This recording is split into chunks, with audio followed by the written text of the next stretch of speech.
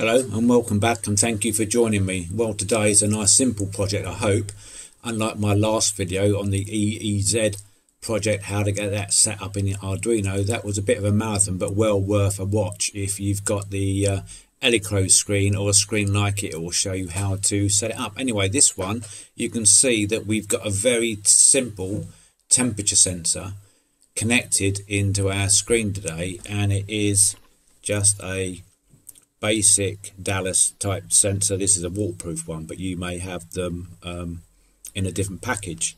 So what we're going to do today is we're going to make this screen. We're not using anything technical. We're just using one library to do it. Very simple, but you do need to set the library up. Once you've set the library up, you can continue to use it for that screen and you don't have to set it up anymore. So what we're going to show you to do is it's going to show you the temperature. So if I touch the uh, sensor now, you'll see the digits will increase and when it gets to a certain temperature the digits will change colour. At the moment it's indicating a cold colour because it's in blue and when it gets to a set temperature there 26 it changes colour. Release it and it will gradually drop down uh, to room temperature. So let's have a quick look at the code. I've put some basic information at the top. When you are using these sensors you do need to add a resistor in the power line. I've got them built in so in in my setup under the heat shrink there's a very very tiny resistor between the power and so I, that's why I'm not showing any external resistor but you do need it otherwise I think you blow the sensor up.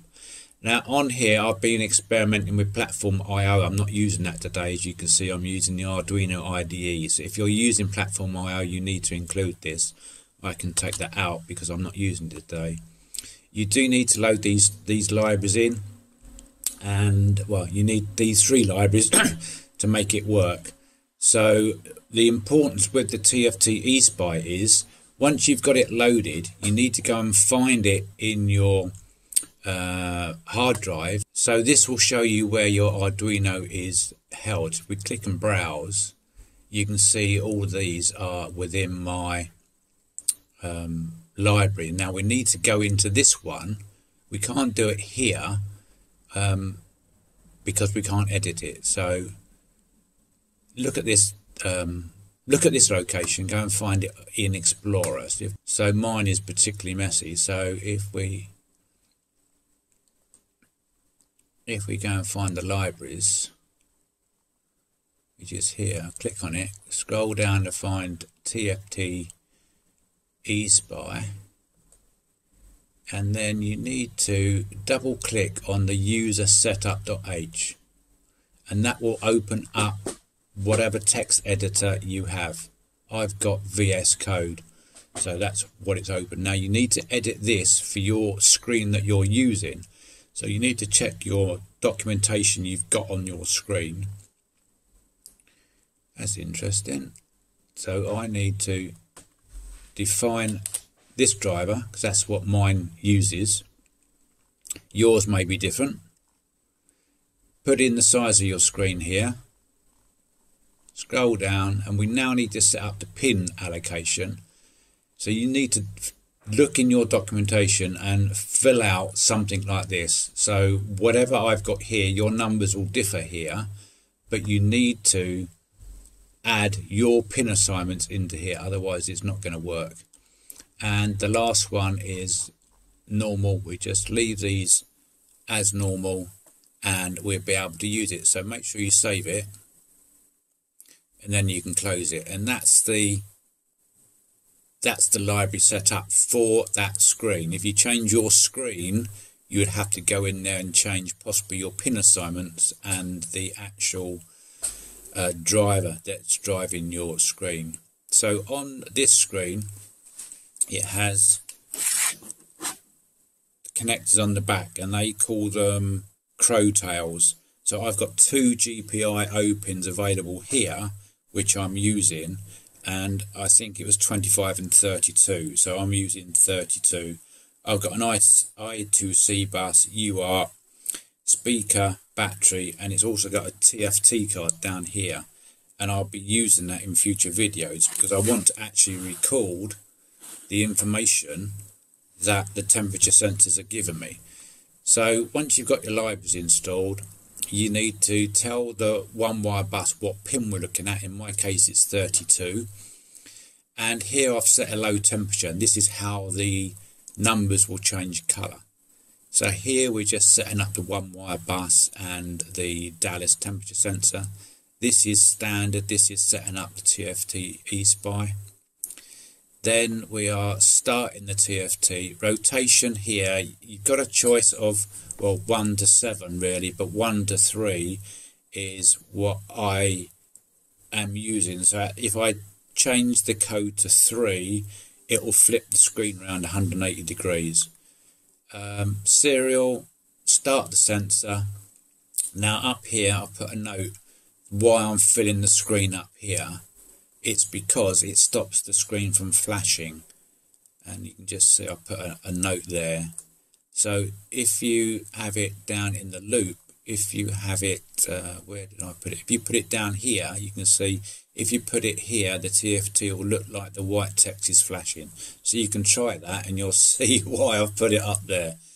So this is some serial um, statements just to make sure that the sensor is working so you can see it on your serial monitor even if it's not coming on your screen. At least you know you're reading the values and you've just got a screen issue but I'll show you that in a second. Then just using this um, line here to position the cursor where we want to draw the text. So this is the color of the text and the color of the background and the color of the background here will match the color of the fill here. And it just helps with um, artifacting I believe. It just makes the text clearer. Text size you've got a choice of uh, 1 to 6 I think it was.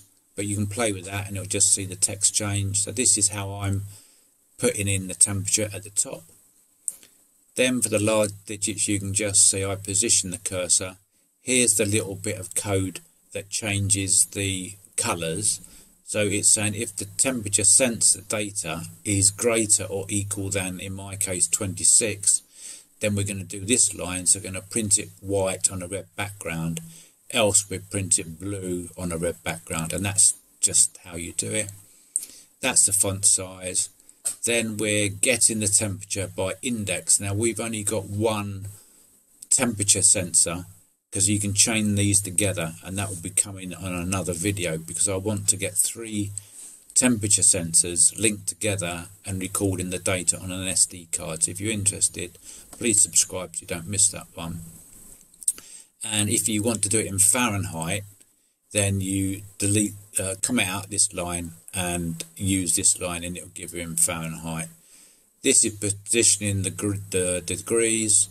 Bit of self motion at the bottom why not? And that is it. And I'm choosing to refresh the screen every half a second. So these will refresh quicker than the standard DHT uh, 11s and 22s. So something like like these sensors. So you can still use these exactly the same, but they don't refresh as quick. So that is the code. So let me just show it running again. If I touch it, the numbers will jump up every half a second depending how hot you are. And then when it gets to the set temperature in 26, it will change colour. So that's it, a nice simple project for today. I hope you've learned something. Hope you get it working. If you do, please drop me a comment in the YouTube video below. If you've got any issues, again, drop a comment and I'll try to help you the best I can. But that's Andy, as ever, wishing a great afternoon, happy coding, and hopefully I'll see you in the next video. Thanks for making it to the end of my videos. If I've earned your respect and your trust, perhaps you would consider subscribing to my channel. It really does make a massive difference. And maybe you would like to watch some of the videos popping up on the screen now. Let me know what you think. Cheers for now.